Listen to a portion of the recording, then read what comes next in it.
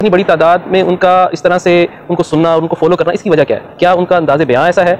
या वाकई में उनके पास कोई ऐसा इल्म है जो आम उलमा के पास, दूसरों के पास नहीं है और लोग उनकी तरफ़ जा रहे हैं? बुनियादी तौर पर उसके छा जाने का मतलब सोशल मीडिया है। आज सोशल मीडिया ज़ीरो हो जाए, वो ज़ीरो है। वो कोई हाफिज कुरान नहीं है कि मैं कहूँ उसके हिफ्स की बदौलत दुनिया उसको सुनती है। वो कारी कुरान नहीं है कि उसकी किरात की वजह से सुनती है। वो आलम नहीं है कि उसके इलम की वजह से सुनते हैं। वो मुफ्ती नहीं है कि उसके फतवा की वजह सुनते हैं। वो मुहदस नहीं है कि हदीस के मायर की वजह सुनते हैं या मुफसर नहीं है कि हदीस की तफसीर की वजह सुनते हैं। उनका क्लेम है कि मैं इंजीनियर हूँ। उन्हें चाहिए वो अपनी फ़ील्ड में रहें। फ़ील्ड से जब बाहर होते हैं तो लोग चस्के लेने के लिए सुनते हैं। तो इंजीनियर अली मिर्ज़ा ने अपनी फ़ील्ड रखी इंजीनियरिंग। इससे बाहर निकल के जब वो ओलमा पे आए और सवाल शुरू किए, ये सवाल ये सवाल, ये उसके पास सिर्फ़ सवाल हैं, दलील नाम की उनके पास चीज़ नहीं है। आप देख लें हमारे अहल हक के जितने अकायद और मसाइल हैं, इस पर वो सवाल करते हैं, उनके पास जवाब नहीं है। तो दलील भी नहीं है, सिर्फ़ सवाल है। तो सवाल और शुभात को दुनिया ज़्यादा सुनती है, इस वजह से लोग उनके सामने हैं। बाकी ये नहीं है कि उसके अंदर कोई क्वालिटीज़ मौजूद हैं या कोई इलमी काम का बंदा है। वो जितना इलमी है, वो अहल हक उसको बहुत अच्छी तरह जानते हैं कि उसके इलम का लेवल क्या है।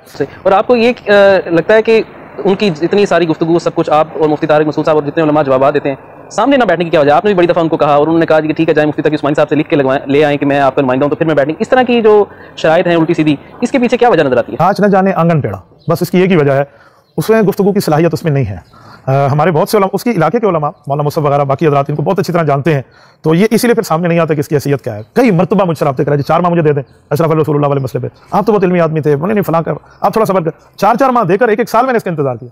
फिर मैंने देखा, यार, ये तो डिवाइड एंड रूल वाला है कि बस इनको इधर करते जाओ और अपना काम करते जाओ। तो ये तो सिर्फ़ डिले डिले डिले के मामले। फिर मैंने ना इसे डील किया, ना इसको डील दिया। फिर हमने इस पर वो गुफ्तु किया, जैसे करने का हक हो। इनके पल्ले कोई शय ही नहीं है। जो हमारे कुरान सुन्नत के दलाइल के मुकाबले पर लाकर अपनी पब्लिक को सेटिस्फाई कर सके। इनका तो भयानक ख्वाब यह प्लेटफॉर्म बना हुआ है। इसलिए उनको हर वक्त कोई भी दुनिया में मसला हो जाए ना, वो इंजीनियर का नाम लेना शुरू कर देंगे। इंजीनियर ने यह कर दिया। इस तरह के वस से पहले भी काफ़ी उलमान है वो जी देखें जी डॉक्टरी का मसला होगा, हम डॉक्टर से जाके पूछेंगे। इंजीनियरिंग का मसला होगा इंजीनियर से जाके पूछेंगे, इस तरह की फिर आपको मिसालें देंगे। तो मेरे भाई, फिर आप मिम्बरों से ये बात क्यों करते हैं? ये दीस क्यों बयान करते हैं सुन इब्ने माजा की, जो मिशकात में मौजूद है? अगरचे इसकी सनद में कलाम है, लेकिन इसका मतन कुरान सुन्नत के एन मुताबिक है, इसे तलक्की बिलकबूल हासिल है कि इल्म दीन हासिल करना हर मुसलमान मर्दो औरत पर फ़र्ज़ है। तो इसका क्या मतलब है कि हर मुसलमान मर्दो औरत ने उलमा वाली डिग्री लेनी है मदरसे से, या उतना बेसिक इल्म हासिल करना है जितना उसकी 24 घंटे की ज़िंदगी गुजारने की ज़रूरत है? वरना तो सारों को मेरी डिग्री होल्डर होना चाहिए। और डिग्रियाँ तो मैं तो जड़ा ना एंड तक खोलांगा कि डिग्रियाँ की औकात के है? वैसे तो साड़ी वीडियो खुल चुकी है औकात। तो कहेंगे, नहीं, हर बंदे को इल्म दीन हासिल करना चाहिए। फिर जाम तिरमजी की एक हदीस है उसकी सनत में कलाम है, लेकिन उसको स्पोर्टिव इबन अब्बास का कॉल है कि हिकमत मुमिन की गुमशुदा मिरास है, जहाँ से भी मिले उसे हासिल कर लो। है कि नहीं? नबी सल्लल्लाहु अलैहि वसल्लम को कुरान में कौन सी दुआ सिखाई गई है?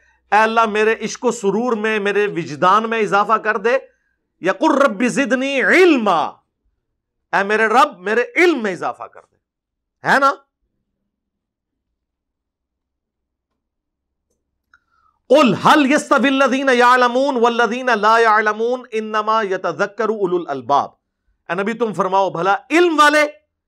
बगैर इल्म वाले बराबर हो सकते हैं नसीहत तो नहीं हासिल करते मगर अक्ल वाले इश्क दे चले नहीं सर ना ना ना ना अकल वाले इश्क दे चले जड़े ने इतने मेरे हथों मारे गए अगू फरिश्तियों के हथों मारे गए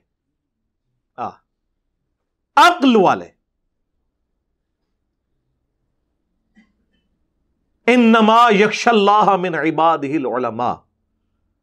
अल्लाह की खशियत और मार्फत तो सिर्फ़ अहल इल्म को है और इल्म से मुराद सिर्फ़ हनफी बरेलवी डिग्री हाँ नहीं नहीं नहीं नहीं नहीं सिर्फ़ हनफी देवबंदी डिग्री नहीं नहीं नहीं नहीं सिर्फ़ अहल हदीस की डिग्री नहीं नहीं नहीं ये तो सारे आठ आठ साल के कुम यूनिवर्सिटी ईरान की सत्रह साल की शिया की डिग्री तो डिग्रियाँ दी औकात जे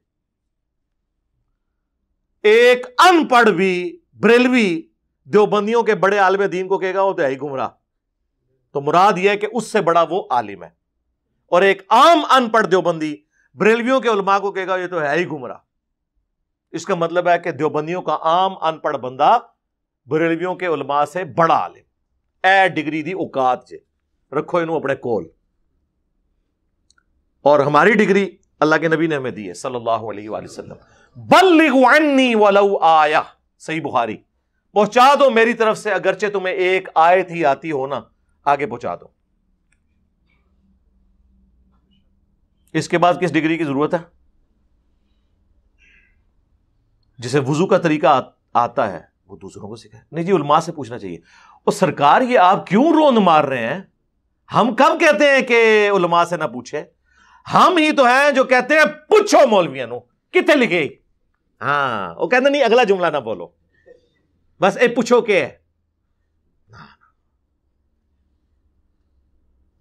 फस अलू अहल जिक्री इन कुन तुम लामून सवाल करो, अगर तुम्हें इल्म नहीं है तो उन लोगों से जो उस फ़ील्ड के एक्सपर्ट हैं। बिल्कुल। भाई, निकाह तला का मसला होगा तो मौलवियों से पूछेंगे। लेकिन अगर कुरान हकीम में बायोलॉजी से मुतलिक जियालॉजी से मुतलिक एस्ट्रोनॉमी से मुतलिक फिजिक्स से मुतलिक एक हज़ार के करीब साइंटिफिक फैक्ट्स के ऊपर फ़िज़िकल फिनोमिना ऑफ़ नेचर के ऊपर, कानून कुदरत के ऊपर आयात होंगी तो सर, उलमा को तो साइंस नहीं आती है। वो तो फिर हम गोरों से जाके पूछेंगे। पूछेंगे ना। तो आज तक किसी इंजीनियर डॉक्टर ने कहा कि उलमा से जाके कुरान की एक हज़ार आयात के बारे में ना पूछो, ये तो जायल है।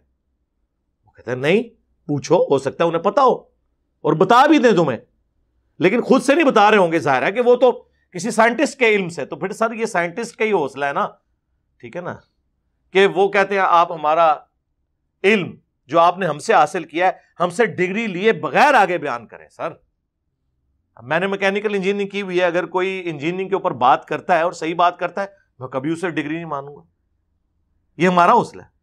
मौलवी से पूछ लें कि अगर तू अपने घर का एयर कंडीशन लगवा रहा हो, और एसी का जो इनर यूनिट है, ये थोड़ा सा टेढ़ा लग जाए और देखने में नज़र भी आ रहा हो तो तुम कारीगर को ये नहीं कहते हो कि यार इसे जरा सीधा करके लगाओ, और आगे से अगर वो कारीगर के के तेरे पास वो डिग्री नहीं है, फ़ील्ड तो मेरी है। हाँ! तो कहना चाहिए ना?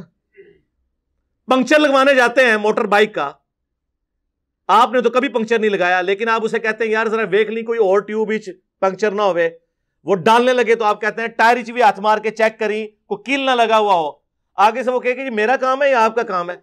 जहाँ तू स्पारे पढ़ाते रहे जरा काम है। कहता कोई? इसका मतलब है कि वो पंक्चर लगाने वाला, वो एयर कंडीशन फिट करने वाला, वो मोची जो जूतियाँ गांठ रहा है और आपके मशवरों को अकोमोडेट कर रहा है वो इन मौलवियों से बेहतर है, कम अज कम कुत्ते की तरह पढ़ता तो नहीं ना आगे से। अकोमोडेट करता है ना। ये तो नहीं कहता तेरी फ़ील्ड नहीं है। कॉमन सेंस की बात है, लेकिन common sense is not so common common sense common तो नहीं होता। तो ये तो फिर उन लोगों का हौसला है कि वो कबूल करते हैं। मैं आपको बताऊँ, मैं मैकेनिकल इंजीनियरिंग के दौरान मैं टॉपर्स में से था। मुझे नहीं याद पड़ता कि कोई दिन गुजरे ऐसा, जिसमें मैंने किसी उस्ताद की गलती भरी क्लास में ना निकाली हो, अदब के दायरे के अंदर, कि सर ये इस तरह नहीं ऐसे। और मुझे नहीं याद पड़ता कि उन पाँच सालों में कभी किसी उस्ताद ने मुझे डांटा हो। यही कहा कि बेटा थैंक यू ये क्या कहते हैं? थैंक यू चुप के बाहर सुटो इनो यदि जुरत सानू पूछ रहे यानी आप देखें कि दुनियावी टीचर्स में इतना हौसला है, जो इन मौलवियों में नहीं है। फिर कहते हैं हमारी इज़्ज़त नहीं है। भाई, इज़्ज़त करवाओ ना। और मुझे यह बताएँ, आज तक आप किसी आँख के स्पेशलिस्ट के पास गए हो? आँख का इलाज करवाने और वो आपको आगे से ये मशवरा दे के, यार, ये आपकी आँख ठीक हो जाएगी।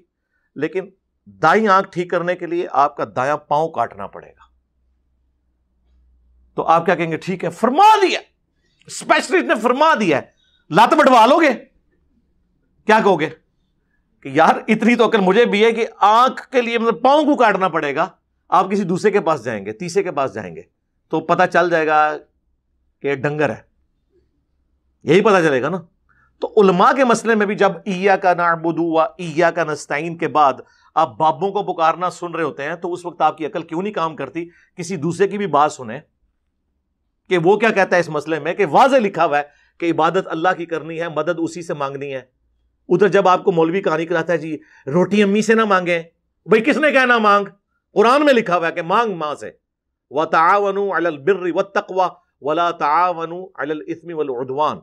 नेकी और परहेजगारी के कामों में एक दूसरे की मदद करो, बुराई में अलग रहो। लेकिन दुआ मांगना ज़ाहिर इस बाब तो ठीक है। दुआ सिर्फ़ अल्लाह के साथ खास है। बारिश कौन बरसाता है? अल्लाह। ड्यूटी किसकी? फरिश्तों की। तो बारिश किससे मांगेंगे? अल्लाह से। फरिश्तों से मांगेंगे मुशरिक। और ये कुरान का फतवा है। अमन युजीबुल मुद्दर्रा इदा दाह। व यक्षिफुस्सू व यजअलुकुम खुलफा अल अर्द। भला बताओ तो कौन है जो मुश्किल और परेशानी में घिरे हुए शख्स की फरियाद को सुनता है, उसकी तकलीफ़ उससे दूर कर देता है, तुम्हें अगलों का खलीफा करता है इस ज़मीन पर।